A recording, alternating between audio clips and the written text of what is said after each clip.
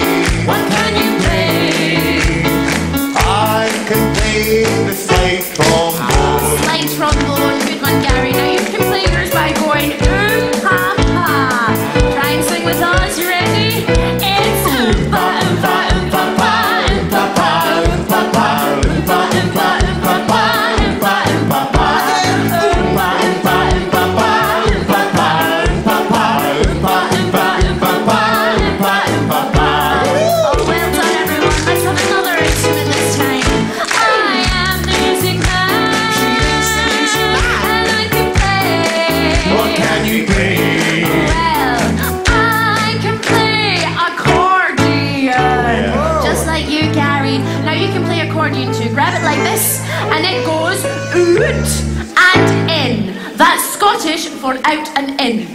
Ready? And, and, and in.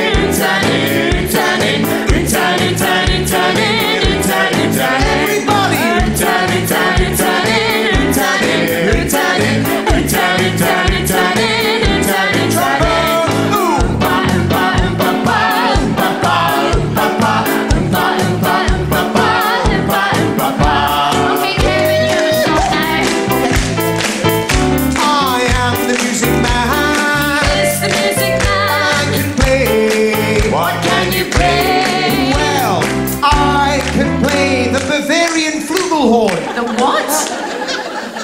The Bavarian flugelhorn. What's a Bavarian flugelhorn? Everybody knows how to play the Bavarian flugelhorn, don't they? Oh, well, it's very simple. I'll show you what to do. You just uh, hold it very long like this and then uh, hold it at your nose. Okay. And it makes a sound exactly like this. It goes.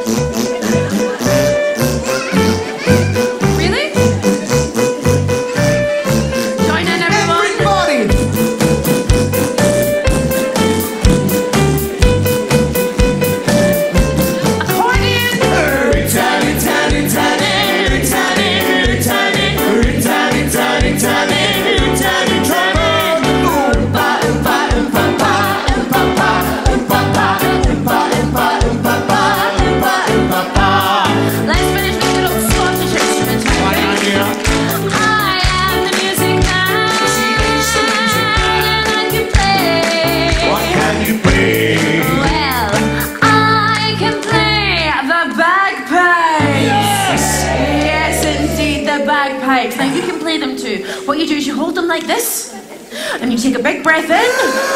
But the important thing to remember when you are playing your bagpipes is there's actually two parts to the instrument. You've got your bit here that kind of goes like this, and then there's this little tweedly bit here. What's it called, Gary? The banter. Banter. No, I don't think it's quite right. The, the band chanter. Yeah. Chanter. So your chanter does this, and this does this, and you need a lot of huff and puff. Huff and puff.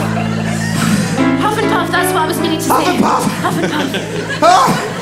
Johnny Huff left. No! I'm sure you guys do. Grab your bagpipes, take a breath in, Can you see? Huff and Huff Huff and Puff, Huff and Puff, Huff and Puff, Huff and Huff Huff and Puff, Huff and Huff and Puff. Everybody!